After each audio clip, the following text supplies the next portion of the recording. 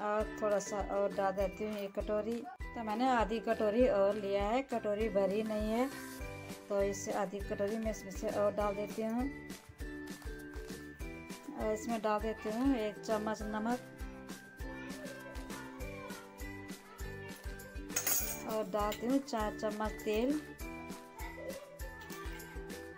तो मैं चार चम्मच तेल डाल दिया।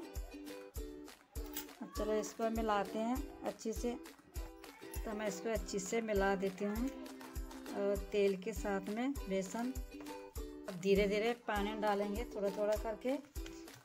नहीं तो गीला हो जाएगा बेसन हमारा। तो मैं थोड़ा थोड़ा करके डालूँगी पानी।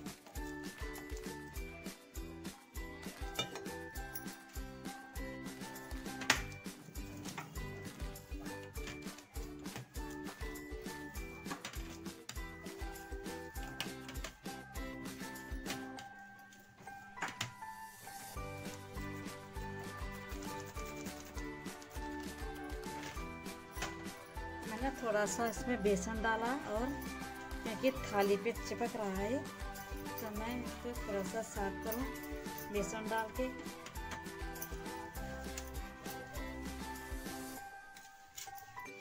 देखिए, साफ़ हो गया, एकदम से साफ़ हो गया।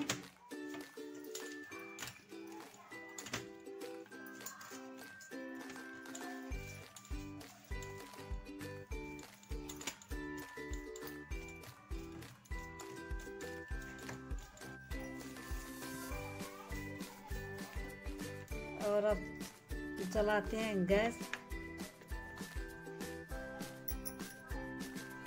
तो मैंने चले शुरू करते हैं सेवे बनाना। तो ये हमारा बेसन सही हो रखा है। तो इसको हम ऐसे करेंगे, थोड़ा सा मस्ती से करेंगे तो ये मुलायम हो जाएगा।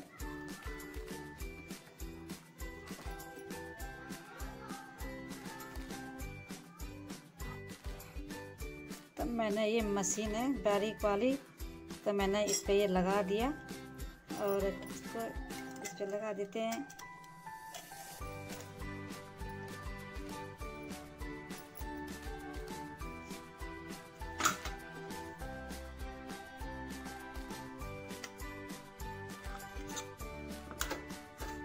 तो चलिए, तेल भी गर्म हो चुका है और चलो शुरू करते हैं बनाना।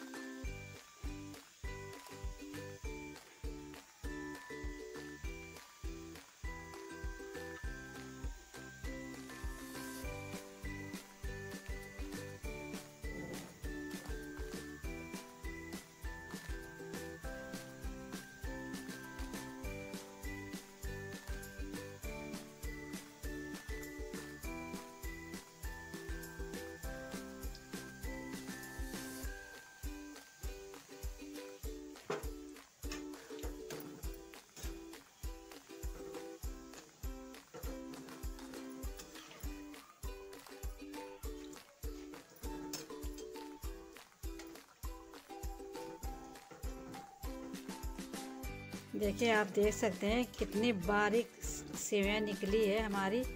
बहुत ही बारीक है, अच्छी लग रही है एकदम। हल्का सा डाली चीनी तो हल्दीराम जैसी हो जाएगी।